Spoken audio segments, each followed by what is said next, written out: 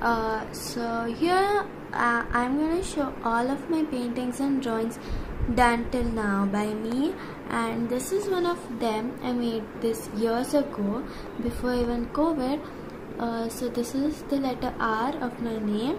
And uh, so I've used newspaper in this. So let's move on to other paintings too.